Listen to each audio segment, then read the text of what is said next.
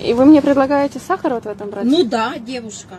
Предлагаю бесплатно вы хотите. Вы же не хотите за пакет давать 2 гривны. Так. Я вам вариант бесплатный предлагаю. Э, что вам не нравится? Женщина. Вам бесплатно плохо, вам платно плохо. Что вам не так? Я не понимаю.